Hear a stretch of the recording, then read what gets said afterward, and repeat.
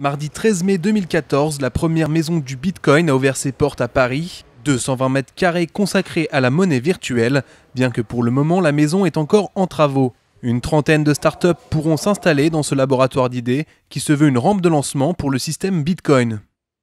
L'objectif de la maison du Bitcoin, eh bien, c'est euh, de dynamiser euh, l'écosystème euh, Bitcoin. tout d'abord en proposant aux entrepreneurs, porteurs de projets, développeurs un endroit où ils peuvent euh, bah, travailler ensemble sur les problématiques euh, Bitcoin. On leur donne accès à un certain nombre de ressources. De l'autre côté euh, de l'équation, pour le grand public, on permet un accès simple et facile au Bitcoin avec un change physique, c'est-à-dire que vous pouvez venir avec des euros à la maison du Bitcoin et repartir avec des Bitcoins.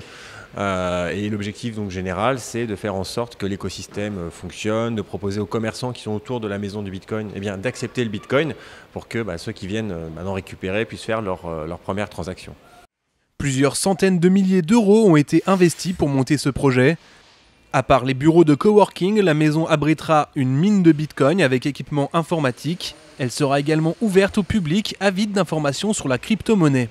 Il ne restera plus qu'à convaincre les commerçants du quartier d'accepter les bitcoins pour transformer le deuxième arrondissement de Paris en capitale de la monnaie numérique.